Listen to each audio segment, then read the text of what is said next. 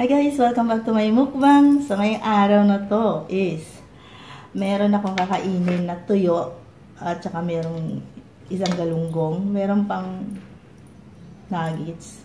Hindi ako mahilig sa nuggets. Kasi yung mga bata, tira nila yan. So meron akong sinigang na baboy. Of course, kanin. At meron akong sausawan na suka. Doon sa, sa ano, sa tuyo. So, syempre, bago ang lahat, nag-pray muna tayo. Nagpasalamat dito sa pagkain na to. Thanks God dito sa food na to na nakalatag ngayon sa aking harapan. Marami po salamat at lagi akong may nailalatag na pagkain sa aking harapan. At syempre, thanks God. So, yun na nga. Bago ako kumain, syempre, mag-shoutout muna ako dun sa mga uh, nanonood sa akin at sa mga hindi maram, alam ko may mga may mga nanonood na iba pang uh, hindi ko ka-subscriber pero uh, hindi naman sila nag-message o nag, uh, nagko-comment down below. So, sa susunod, para ma-shoutout ma-shout out ko kayo, is um, comment down below lang ho para may, may shout out ko kayo rito sa aking vlog. So, sina-shout out ko, syempre, syempre si ano, si, si, si Bessie, Bessie Gladys Pistano. Siyempre, siya lagi yung, uh, laging nagbibigay sa akin ng opinion. Kasi siyempre, alam ko na umiikot yan sa mga YouTuber, nanonood yan ng mga kung ano-anong siguro kadalasan mukbang kasi marami siyang binibigay sa akin ng mga opinion at mga idea. So, thank you sis or Bessie dun sa mga uh, sinasabi mo sa akin at syempre susundin ko lahat yan. At uh, walang hanggang pasasalamat kasi nandiyan ka palagi since uh, noong maging subscriber kita. Like, ang nanonood, alam ko, at nag, nagko-comment din. At syempre, shout out natin si Balvin. Balvin TV. Uh, paki-subscribe nyo rin siya kasi ano rin siya, uh, YouTuber din siya. Uh, si Balvin TV is ano na, okay na yung, yung ano niya, yung mga content niya, maganda rin yung mga content niya. So, paki-subscribe nyo rin siya. Puntahan niyo siya sa kanyang sa kanyang YouTube channel at saka syempre si Wise Spender Mom. Uh, kung hindi pa kayo nakakapag-subscribe sa kanya, uh, mag-subscribe na kayo kay Wise Spender Mom, kay Valvin TV, at saka kay sinashoutout ko rin si Barnry, mga YouTuber din yung mga yan. At saka si shoutout din kay Tea Time Philippines puntahan niyo sila guys doon sa mga mga YouTube channel nila, yung T Times Philippines. Tapos si Altea de Aziz. Shout out din kay Altea de Aziz, kay Joanne's Vlogs. So yun nga guys, uh, kung hindi pa kayo nakakapag-subscribe sa kanila, uh, puntahan niyo sila sa kanilang mga YouTube channel. At uh, si Lilin Lacar Vlogs, Lilin, L-I-L-Y-N, Lacar, L-E-C-E-R, Vlogs. Uh, puntahan nyo rin siya kasi vloggers din siya, syempre kasi may nakalagay na vlog. So, at kay Maya Anguluan. So, shout out sa inyong lahat guys. So, susunod yung gusto nyo ma-shout out dito sa aking vlogs, sa aking YouTube channel, is comment down below lang kayo guys. At mag-request na rin kayo kung ano yung gusto nyo, gusto nyong kainin to. At i-prepare ko. So, ito nga, may, nag, may nag-request sa akin ng sinigang. Nakalimutan ko kung anong pangalan nung nag-request sa akin ng sinigang. So, ito na ngayon sinigang. Kaya lang, pa-partneran ko siya ng tuyo.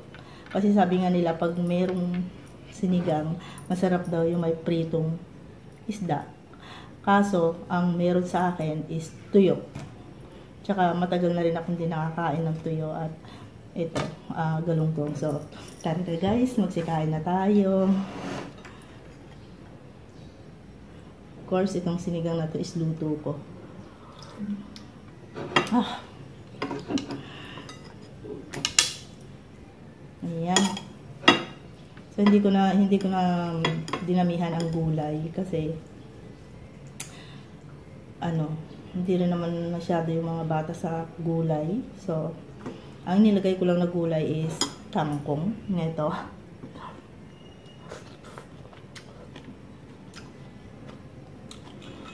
Tapos, meron siyang okra. Mm. Ayan. Meron siyang sitaw.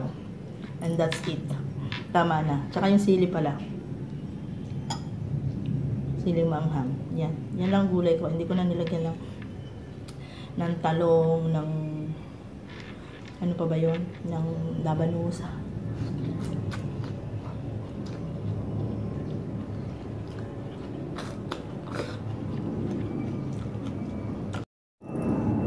Kasi ang mga naiiwan, puro gulay.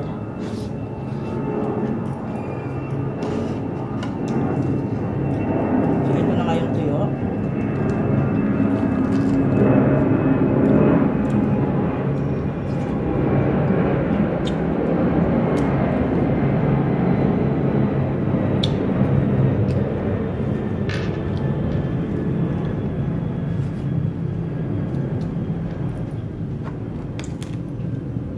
So, ang pinaka-the best nga lang sa tuyo is yung ulo. So, kainin natin yung ulo. Bawal magtira.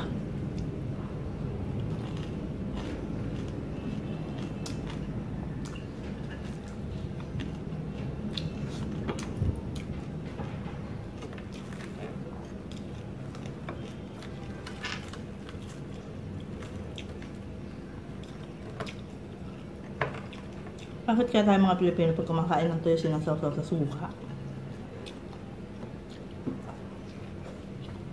Kung ngayon, alam ko lang dahil lang. Kasi maalat siya. Yan. Kaya kailangan natin sausaw sa suka. Kasi pag hindi nila alatan itong tuyo, is hindi magtatagal.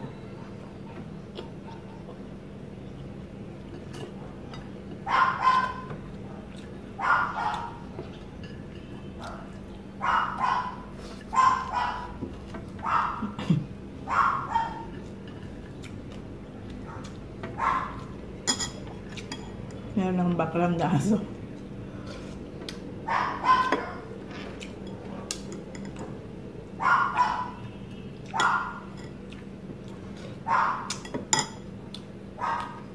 Marami kasing aso sa baba.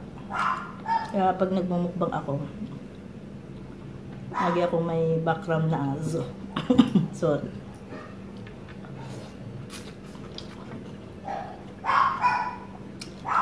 Lagi ako may background na tahol ng aso.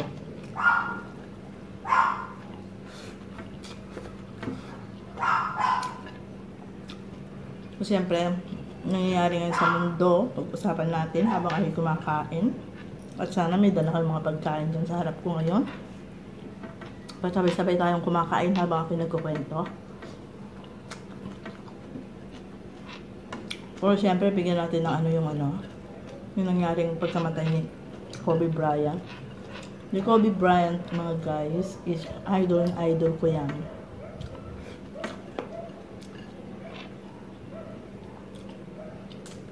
Nakakagulat lang na bigla mo, bigla mo na lang maririnig na bumagsak na raw yung sinasakyan niya aeroplano at or helicopter. At wala na nga raw siya. Siyempre, nakakalungkot kasi kilalang kilala siya, kilalang magaling na basketballista, sikat na sikat, marami siyang fans, isa na ako doon. So nakakagulat lang at nakakalungkot lang guys. Pero siyempre, ganyan lang talagang buhay, una-una lang yan.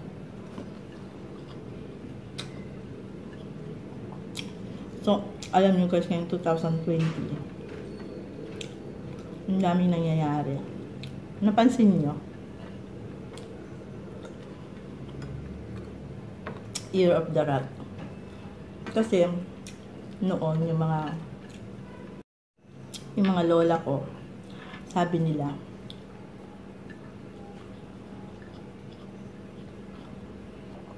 pag year of the rat daw is mahirap ang buhay.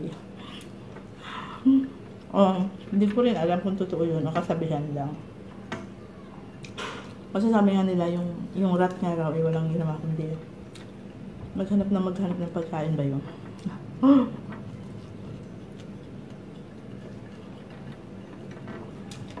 so, ang napapansin ko lang, yung year of the rat, 2020, yung kapapasok pa lang ng 2020, ang dami nang nangyayari. Dami nang nangyayari at mm,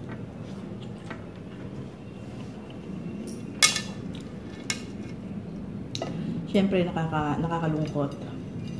Dahil yun nga, di ba, nangyari dito sa Pilipinas yung San Volcano, sumabog. Marami na perwisyo. Tapos ang dami na nadidisgrasya.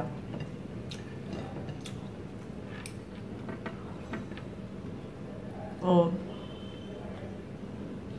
Hindi natin alam kung nagkakataon lang. Hmm. Only God knows. Binibigyan, na, binibigyan lang kasi natin ng mga kahulugan. So, yun ang naririnig ko. Kaya yun na rin ang sinasabi ko. So, hindi ko alam yung kung napaka ano lang, napaka nabibigyan lang natin ng kahulugan.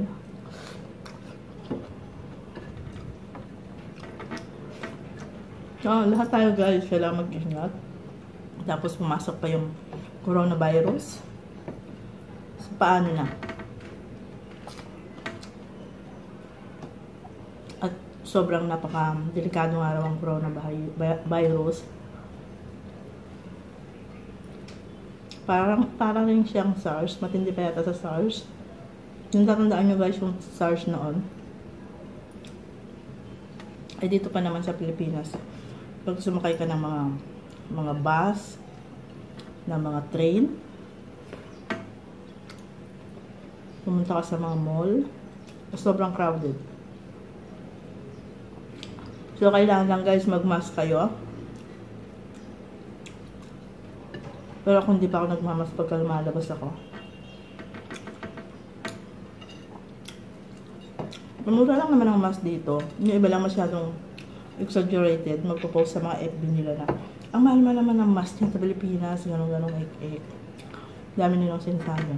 Pero yung totoo, hindi naman. Minsan may nagpo-post ng akala nila yung isang piraso is 20, 30, gano'n. Pero hindi pala. Kasi mga mga Chinese na supplier kasi ipopost nila yung Painto-into yung pagre-record ko guys kasi nga naubusan ako ng ano sa, sa camera. So yun nga. Kasi na ba? Nakalimutan ko na kasi naayos ko yung camera.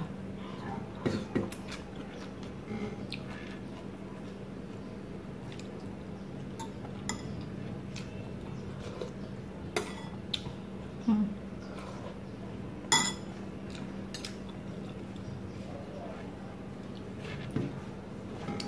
Si Jilin yata sa akin yung sis Jilin yata yung nag, nag ano nag-request sa akin ng sinigang.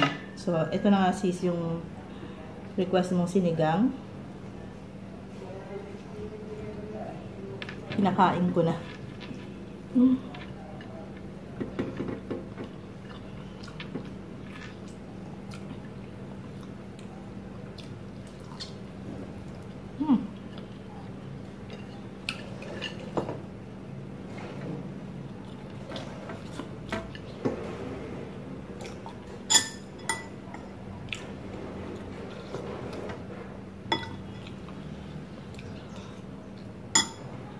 Nahiling lang ako sa sabaw.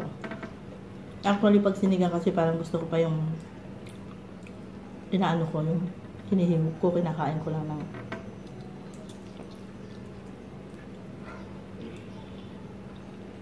walang kanin ba?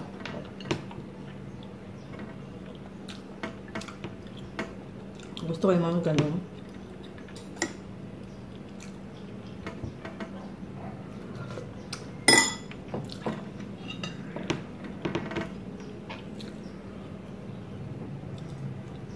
Yun na nga yung pagkamatay ng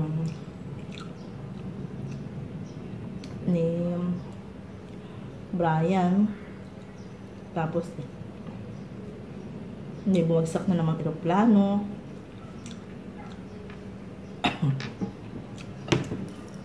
Parang dalawa yata magkasunod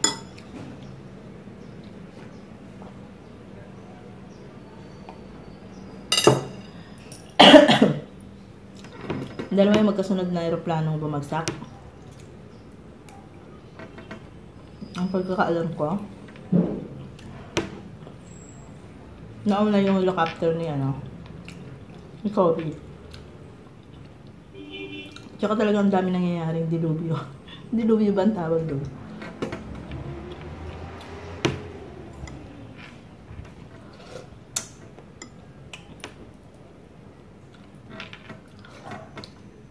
Kaya tayo guys, mag-ingat-ingat tayo palagi sa ating pag paglalakad, ating paglabas-labas, at saka sa mga bansang meron ng coronavirus.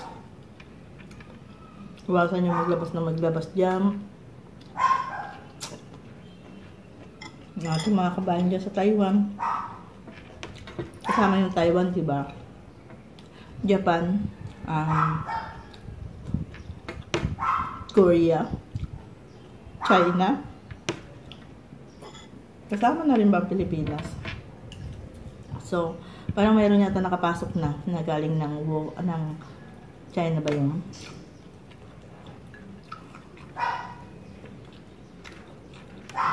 So, konti- konting ingat. Pagdagdagan ng pag-iingat, guys.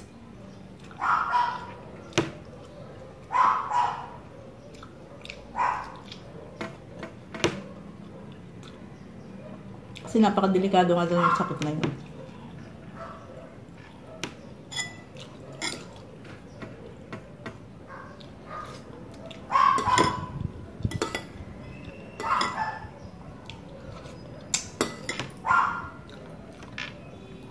Hmm.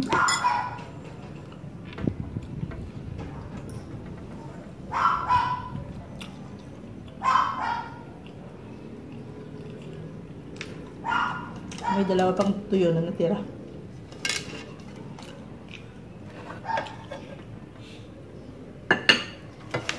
Ayan. Hmm. Talaga hindi na makakain ng mga bata yan. Hindi naman sila mahilig sa tuyo. Para tingin ko hindi sila mahilig sa tuyo.